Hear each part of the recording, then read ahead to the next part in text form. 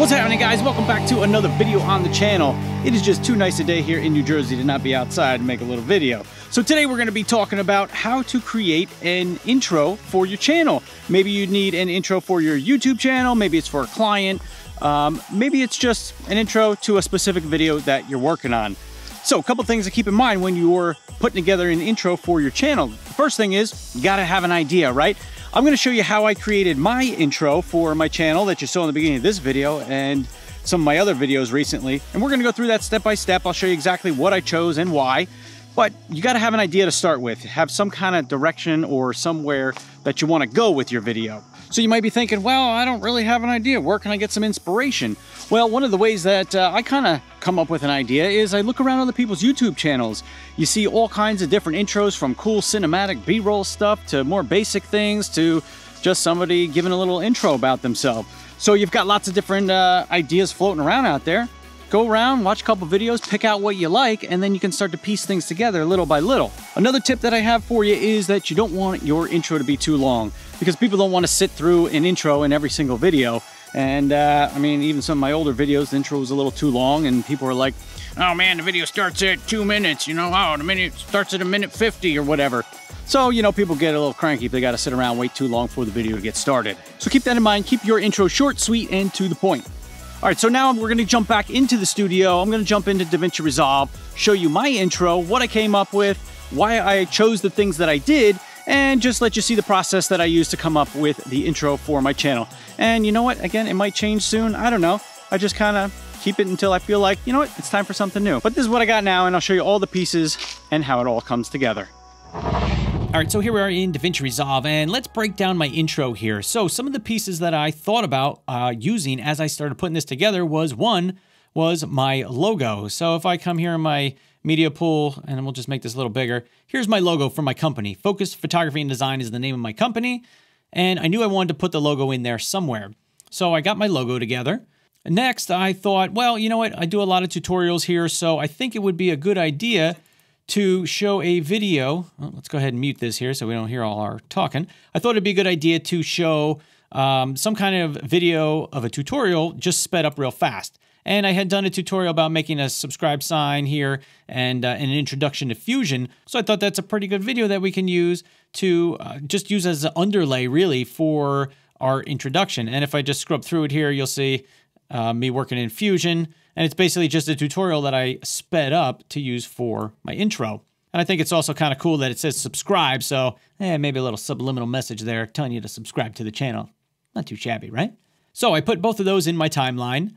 And then for a long time, I've been using a uh, Fusion composition here of a bunch of like light leaks. And if I come over here, I'll bring this up on the screen. And if I play through it, You'll see it's just kind of like light shooting in from the sides of the screen with little orby guys floating around. And that's just a preset thing that I found in Fusion. So one cool way that you can really uh, look for some cool effects is to just jump into the Fusion tab and come to your effects library and just start going through the templates. I mean, there is all kinds of cool stuff in here that you can use it as it is, or you could even just do slight small modifications and you're gonna get something that looks really cool. So this particle lens leaks, it's just one of these preset things that I found right here in DaVinci Resolve. I didn't even have to make it myself. And like I said, if I click on that, you can adjust all kinds of different factors here. And I just picked something that I thought looked good and went with it. So jumping back into the edit page here, um, I'm gonna bring this back to where it was. The next item that I came up with here was uh, for the Quick Tip Tuesdays anyway, was just a piece of text. And again, this text I got in Fusion. It was a preset thing that was already there. So if I just drag the text over here, you can see what that looks like. And it's just the text flying in and flying out. The next thing you might notice here is all these purple lines. So if I come over here and zoom in, all that is to give the little um, blinking effect to my video, all it is is just a solid color clip. So if I come up to my effects library here and I open that up, so we got our effects library open here. I'm just going to close the media pool. And in my effects library, I'm going to come to generators. And then right here, I have solid color. So you can just click on that and drag it right out in here into your timeline. And then I've got a solid color. And what I did was I made a one second black clip. So it's going to look like it's blinking. If you look up in our window over here, looks like it's blinking. And all it is is just a black overlay, a solid color overlay on top of that fusion clip that I just showed you. So that flickering effect is pretty cool. And actually, I picked that up from uh, Billy Rybka's video. Hope you're saying your last name right, Billy. But uh, he's got tons of great stuff. Another great DaVinci Resolve YouTuber. So head on over, check out his stuff. You get some ideas over there. But that's where I got the idea for the flickering uh, effect here using the solid color generator. So thanks, Billy. Appreciate that, man. So closing the effects library, zooming back out here. So I did also find some cool music that was uh, just a drum beat, you know, that I thought would work good for an intro. And if you look at it, it looks like this whole intro or that whole music clip there that I'm using is about 13 seconds long. So it kind of fades into my video as I start talking. So I like that the music kind of overlaps with where the video actually starts.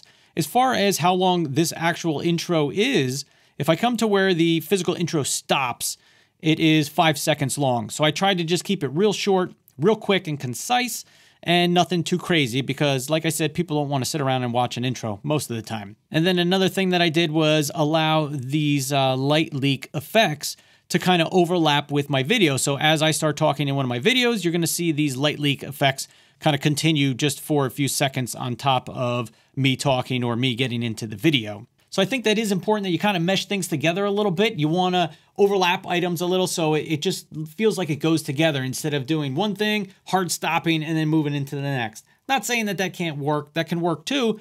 But for me, in this uh, instance with the intro that I created, I think it's kind of cool how things overlap a little bit. So just something to keep in mind. So once I had those pieces together, I thought, hey, you know what? I think maybe we could use like a transition in the beginning where you kind of whip in and whip out. So the transitions I used are some of the transitions by R Visuals. They've got a ton of great transitions. I did make a video about them a while back. I'll link to that above if you're interested in checking those out. But I use their transitions all the time, and I like that it comes with not only the transition itself, but also a sound effect comes with it. So I decided to use the transitions to come into the intro, play through the intro, and then also transition out of the intro into me talking or whatever the video might be. So there you go, that's kind of my intro. It's just a bunch of small pieces put together. It did take me a little while just playing with stuff and seeing what I thought kind of looked cool, what I thought was quick enough, but still looked like something. So you just got to try things. And, you know, like I said, check out other YouTubers, see what they do. Um, and I think you can come up with something pretty cool. You just got to play around with it. So I hope you guys found this video helpful. If you did, I'd love to hear your thoughts. Leave a comment down below. If you need any help creating your intro, feel free to leave a comment. I'll help you out the best I can. And uh, if this video was helpful, give it a thumbs up, subscribe to the channel if you haven't already, and I look forward to seeing you guys in the next video. Peace!